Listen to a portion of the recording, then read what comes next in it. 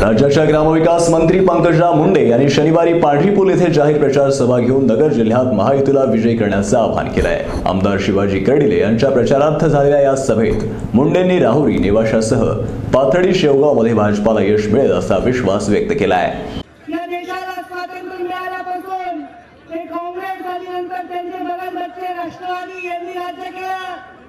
आमच्या लोकांना नुसत्या टोकऱ्या घालण्याचं काय?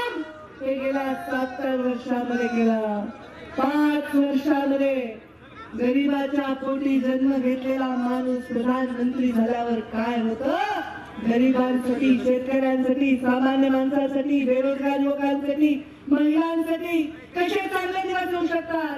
ते जर कुणी दाखवून दिले तर आमचे प्रधानमंत्री नरेंद्र मोदी यांनी दाखवून दिले आमच्या प्रधानमंत्र्यांना दबाल पसंती मिळाली तुम्ही सुजय विखेंना खासदार केला केला विखेंना खासदार म्हणजे केलं म्हणजे डायरेक्ट प्रधानमंत्र्यांना मतदान द्यायचं नाही बाबा. एवढ्या मोठ्या बहुमताने परत सरकार स्थापन झालं. तेव्हा आम्ही देशामध्ये काँग्रेस मुक्त देशाची घोषणा केली होती आणि आता राष्ट्रवादी मुक्त महाराष्ट्राची घोषणा केली आहे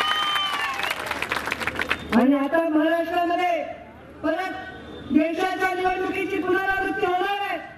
देशामध्ये प्रधानमंत्री नरेंद्र मोदी पुन्हा प्रधानमंत्री झाले. महाराष्ट्रामध्ये महायुतीची सत्ता पुन्हा स्थापन झाल्याशिवाय राहणार नाही हा विश्वास तुमच्या मनामध्ये आहे. ते कसं शक्य होईल जर आमचे हे आमदार निवडून मिळाले तर?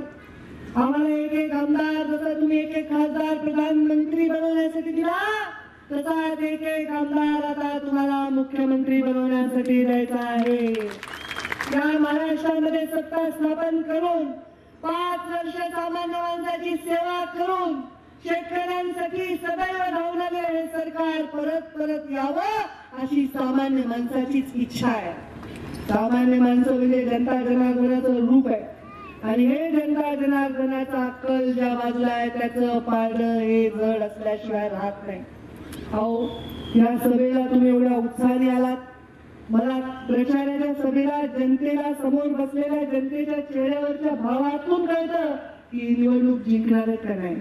ही निवडणूक जिंकणार आहेत आणि आमचे कर्डिले विजयी होणार आहेत आमचे मुरमुरे विजयी होणार आहेत. ही काळ्या दगडावरची पांढरी रेघ आहे. आता दुसऱ्यांनी पण सभा जाहीर केली. सोनाईची पब्लिक समोर काय चालतंय? मी म्हणलं मला पात्र दिला जाऊन नंतर तुम्हाला काय झालं सोनाईला जायला बरोबर आहे का नाही? मग त्यांनी जाहीर केली आता सांगितलं ताईचा आदेश माझ्या नावाने काही पण पावती फाडायला काही हरकत नाही. सध्या विरोधकही फाडायले पावत्या. कोणीतरी माझे फोटोज घेऊन वापरायले. मध्ये त्यांनी त्या प्रताप पाटील चिखलीकरांच्या सभेला गेले होते. आणि मला उशीर होत होता. समोरच्या माणसाचं भाषण खूप लांबलं. तर मी त्याला म्हणून जरा लवकर करा. असं केलं. लगेच बघा पंकजा काही सांगितलं घड्याला मतदान केलं मी तुमचे डोके बिके फिरले का? अरे घड्याळ्याचा सगळ्यात मोठा शत्रू कोणी होता? गोपीनाथ मुंडे त्याच्या औलाद पंकजा मुंडे. या घड्याळ्याने या महाराष्ट्राच्या राजकारणाचे बारा वाजले बारा. चोवीस तारखेला दहा वाजून दहा मिनिटांनी हे घड्याळ कायमचं बंद करून टाकायचंय. ही जबाबदारी तुमच्याकडे आहे की नाही? घेणार की नाही आता या विजयाच्या सभेला परत एकदा गुलाल लावून मला बोलवणार की नाही खर तर कालच तुमची निवासाला मला वाटतं मुख्यमंत्री मोदींची सभा झाली महाराष्ट्रामध्ये प्रचारक म्हणून मुख्यमंत्र्यांबरोबर मी सुद्धा त्यांच्या नेतृत्वाखाली महाराष्ट्रात प्रचार करते. मी असा विचार करत होते की जिथं मुख्यमंत्र्यांची सभा झाली तिथं आपण जायची आवश्यकता नाही. कारण डबल डबल एका उमेदवाराकडे जाणं शक्य नाही. म्हणून विचारलं कर्दिले साहेबांना की इकडे झाली नाही मी इकडे आले. कारण दोन महाराष्ट्रातले शाळा प्रचारक मुख्यमंत्री महोदय एकीकडे गेले तर एकीकडे मी गेले. तुम्हाला दोन ठिकाणी आम्हाला ताकद लावत आहे तशीच आमची ताकद आहे. आमदाराची ताकद आहे. या कमळाच्या मुलाची ताकद आहे. या महायुतीची ताकद आहे. आता हे राष्ट्रवादीचं सरकार परवा भगवान भक्तीगडावर मी गेले होते. जेव्हा भगवान भक्तीगडावर आपल्या देशाचे गृहमंत्री अमितभाई शहा आले तेव्हा राष्ट्रवादीचे नेते म्हणाले अमितभाई शहा अरे भगवान भक्तीगडावर प्रचारासाठी प्रचारासाठी नाही आले भगवान बाबाच्या दर्शनासाठी आले. त्यांना तीनशे सत्तर तिरंगे झेंडे दाखवून तीनशे सत्तर तोफांची सलामी दिली. राष्ट्रवादीचे लोक म्हणे असं कुठे तीनशे सत्तर हा काही मुद्दा होऊ शकतो का? हा आमच्या प्रचाराचा मुद्दा नाही आहे हा आमच्या संस्काराचा मुद्दा आहे. की नाही? तिरंगावर प्रेम आहे की नाही तुमचा? हा तिरंगा देशाच्या सगळ्या राज्यामध्ये फडकला पाहिजे असं वाटलं तर अभिमान व्यक्त करायला नाही कारण कोकणातल्या या माणसाला नगर दिलाय हा मुद्दा प्रचाराचा नाही पण हा मुद्दा आमच्या स्वाभिमानाचा आहे. तीनशे सत्तर वर जर अमेरिकेमध्ये डोनाल्ड ट्रम्पच्या उपस्थितीत तिथला भारतीय समुदाय उभा राहून टाळ्या वाजवू शकतो टाळ्याचा गर्जना करू शकतो मध्ये फडकवलेला तिरंगा जर देशाच्या पलीकडच्या भारतीयाला सूट देऊ शकतो हा देशातल्या नागरिकाचा मुद्दा कसा होऊ शकत नाही? देशाचा अभिमान हा सगळ्यात महत्त्वाचा विषय आहे. आणि म्हणून हा आमच्या जन्माचा विषय भारतीय जनता पार्टीचा जन्म हा देशाच्या अभिमानासाठी राष्ट्राच्या अभिमानासाठी झाला आहे आणि त्यामुळे या देशामध्ये राहणारा मुस्लिम असेल या देशामध्ये राहणारा हिंदू असेल कोणत्याही जातीचा व्यक्ती असेल त्याला ज्याच्या देशाचं नागरिकत्व आहे त्याचा विकास करणं त्याच्या अंतिम त्या माणसापर्यंत विकास पोहोचवणं हे आमचं ध्येय आणि म्हणून आपल्या सर्वांना हे ध्येय पूर्तीसाठी आपण लोकसभेत भरभरून दिलं. भरभरवून दिलं मी तुला भरभरून वेळ दिला. पण आता असा प्रश्न आहे की पंकजाताईची सभा पाहिजे. मी मला असं कुठली निवडणूक असली की मी तिथे नसते गेलं फॉर्म भरायला सुद्धा तर चाललं असतं मी तेही केलं असतं. पण आता इतक्या सभा लोक मागायला परळीलाच जाऊ नका म्हणायला पुन्हा ते परळीला आमच्या तिथे काही कमी काम आहे का? कमी काम आहे का मला मी निवडून येणार आहे, हो, काही काळजी करू नका. विरोधक कितीही कितीही अफवा पसरवले मला चिंता नाही. उलट ते गावागावात फिरायले मी तर महाराष्ट्रावर सभा घेईल माझा जनतेवर विश्वास आहे. माझ्या दादाने जर माझ्या पक्षाचा एक जरी आमदार कोणत्या मताने का होईना त्याला ता- ताकद मिळत असेल तर माझं ते परम कर्तव्य आणि ते निभावून मी माझ्या मा- निवडणुकीला हाताळले यांनी मला असं वाटतं आता उद्यापासून काहीतरी थांबून घेण्याचं काम निश्चितपणे करावा. ही गोष्ट आजच्या उपस्थितीवरून खऱ्या अर्थाने त्या ठिकाणी चित्र होण्याचं काम होत आता ताईला सांगतो का आमचं आता तुम्हाला सांगतो का कुठल्या प्रकारचे बोलायचा?